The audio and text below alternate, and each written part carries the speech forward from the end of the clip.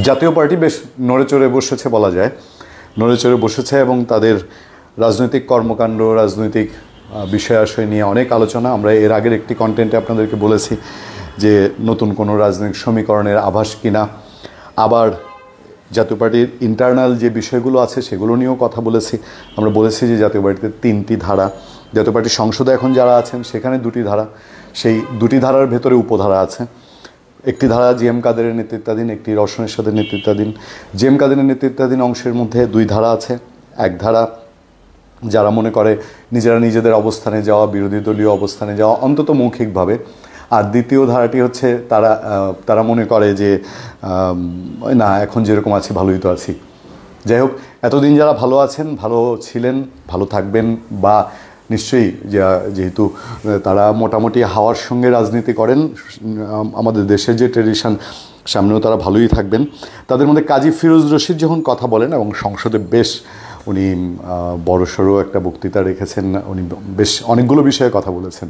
এবং এই বক্তৃতার মর্মার্থ উদ্ধারের জন্য আপনাদের সহযোগিতা দরকার এবং আমার মনে হয় যে আদতে একটা আমরা সেদিন এবি পার্টিকে রহস্যময় বলছিলাম। এখন যে স্টেজ এসছে, এই স্টেজে জাতীয় পার্টিকেও কি সেভাবে বিবেচনা করব কিনা বা করা যায় কিনা? কারণ সাধারণ মানুষের মধ্যে একটা উৎসুক ব্যাপার, জাতীয় পার্টি কী করছে? জাতীয় পার্টি কী করছে? না, নেতৃবৃন্দকে জিজ্ঞেস করলে তারা স্পষ্ট বলে, আমরা নির্বাচনমুখী দল, আমরা নির্বাচন করব, নির্বাচনে থাকব। তারা ব্যালটকে অ্যাপ্রিসিয়েট করেছে। আবার তারা অন্যান্য ভিন্ন মতালব্বীদের সঙ্গে তাদের যোগাযোগ আছে। চলুন কাজী ফিরোজ রশিদের কথায় ফিরে যাই।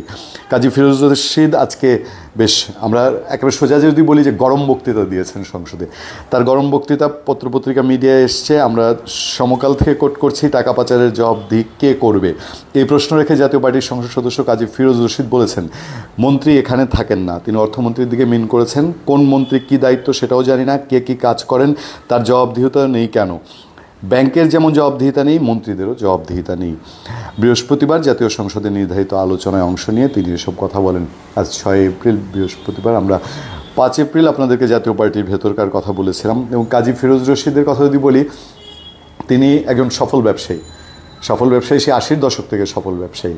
সফল ব্যবসায়ী হয়ে তিনি রাজনীতি এসেছিলেন এবং বেশ একটা শক্তিশালী অবস্থানেই উনি আছেন এবং প্রবীণ রাজনীতিবিদ। আজকে কয়েক দশক ধরে ইভেন মুক্তিযুদ্ধের সময়কালেও তার একটা তার অনেক অনেক কথা আমরা অনেক জায়গা থেকে শুনি, অনেক রকম তার পজিটিভ একটা ব্যাপার আছে। এমনিতে খুব সজ্জনভাবে কথা বলেন, তার সজ্জনতা একটা সুনাম আছে।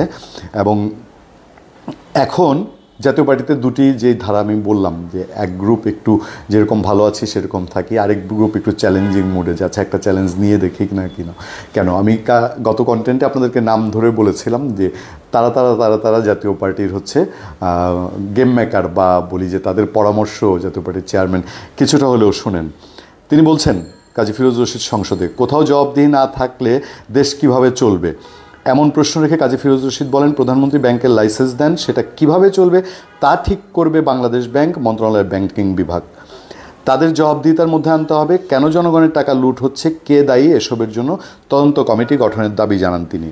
তিনি সুনির্দিষ্ট একটি ব্যাংকের নাম ধরে তিনি সে ব্যাংকের চেয়ারম্যানের কথা বলছেন যে এক হাজার কোটি টাকা নিয়ে চলে গেছেন।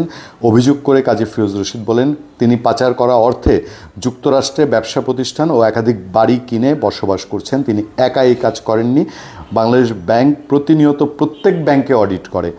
এক হাজার কোটি টাকা তো একদিনেই নেওয়া হয়নি। বাংলাদেশ ব্যাংকও অর্থ মন্ত্রণালয় তাহলে কী করল? লাখ টাকা দামি প্রশ্ন অর্থমন্ত্রীর সমালোচনা করে তিনি জাতীয় পার্টির এই সংসদ সদস্য আরও বলেন, এটা নিয়ে আমরা কথা বলতে পারব না। এখানে অর্থমন্ত্রী কখনোই থাকেন না। উনি কোনো কথাই শুনতে চান না। এর আগে জাতীয় পার্টির পক্ষ থেকে আরও যখন আমাদের বৈশ্বিক মন্দার প্রভাবটা আমরা প্রথম আজ করতে থাকলাম এবং আমাদের রিজার্ভ নিয়ে সবচেয়ে বেশি আলোচনা হচ্ছিল, সেই সময়টাও জাতীয় বিরোধী অংশের মানুষজন কেন অর্থমন্ত্রী কম সময় দিচ্ছেন বা তার পদক্ষেপ কী এই- এই ক্রাইসিস সময়ে এই প্রশ্নগুলো তারা তুলেছিলেন।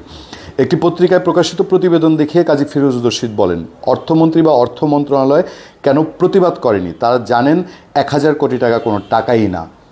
এখানে পাঁচ হাজার কোটি টাকা হলে তারা নড়ে চড়ে বসে, দশ হাজার কোটি টাকা হলে আরেকটু নড়ে চড়ে বসে।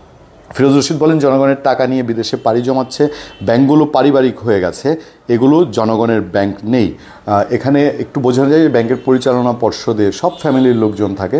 সম্প্রতি সরকারের একটি সিদ্ধান্তের কথা আমরা জেনেছি যে এক পরিবার থেকে তিনজনের বেশি ব্যাংকের পরিচালনা পর্ষদে থাকতে পারবে না। আমরা টাকা রাখি, রিপোর্টে বলা হচ্ছে, আমরা টাকা রাখি ঠিকই, ব্যাংকের মালিকদের চাকর বাকরদেরও কোনো অসুখ হলে সিঙ্গাপুর ব্যাংকক চলে যাবে বলে চিকিৎসার, সিঙ্গাপুর ব্যাংকক চলে যাবে চিকিৎসার জন্য। একটা গুরুতর ব্যাপার, নিশ্চয়ই ওনার কাছে কোনো কেস স্টাডি আছে। বঙ্গবাজারের আগুন নিয়ে তিনি কথা বলেছেন, বলেছে আসলে আগুন নেভার নিয়ে, আগুন আজও জ্বলছে।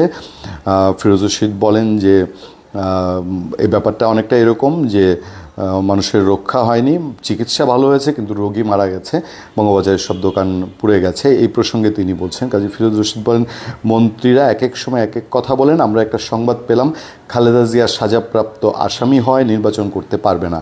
তবে তিনি রাজনৈতিক চর্চা করতে পারবেন আরেক মন্ত্রী বললেন উনি মানে খালেদা জিয়া শর্ত দিয়েছেন, রাজনীতি করবেন না। আপনারা এক এক সময় এক এক আইনের ব্যাখ্যা দেন, এক আইনের ব্যাখ্যা দেবেন আইনমন্ত্রী সেটাই সঠিক মনে করব। অর্থের ব্যাখ্যা দেবেন অর্থমন্ত্রী। আমরা সেটাই মেনে নেব, কিন্তু আমরা তো কারও কাছে ব্যাখ্যা পাই না।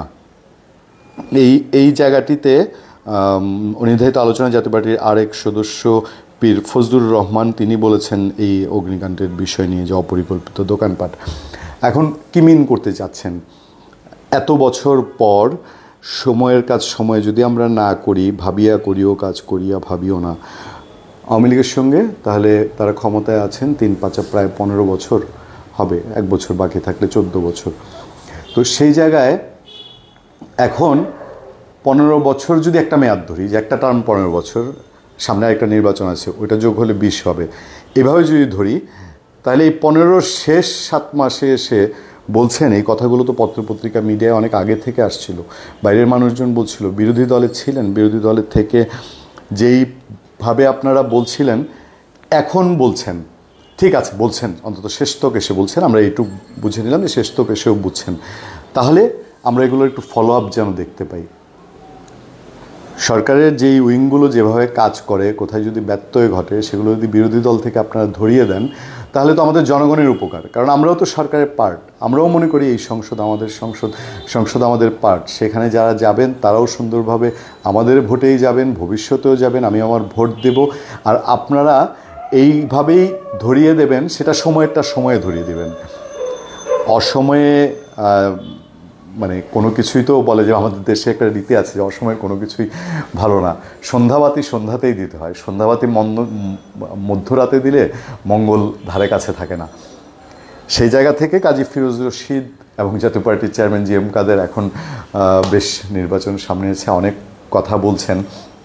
কথা যা বলছেন তারা তাদের হয়তো রেফারেন্স নিয়ে, তাদের জায়গা থেকে তারা হয়তো সত্য কথা বলছেন এবং এই যে যে ইস্যুটি তিনি এখন রাইজ করেছেন, এই ইস্যুটি যদি জাতীয় পার্টি এই জায়গা থেকে আরও আগে রাইজ করতো আরও আগে সরকারের দিকে দৃষ্টি আকর্ষণ করতো, তাহলে ঘটনাটা কী হতো?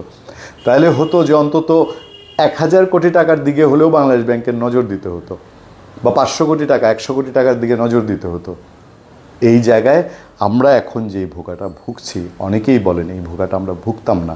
যদি এই সুযোগগুলো যারা পেয়েছে, অসংখ্য মানুষ পেয়েছে, তারা সত্যিই ভাগ্যবান কিনা, তারা এই টাকা সাথে নিয়ে কফিনে কবরে চিতায় উঠবে কিনা, এটা আমরা জানি না। কিন্তু গেছে তো গেছে, আমার গেছে।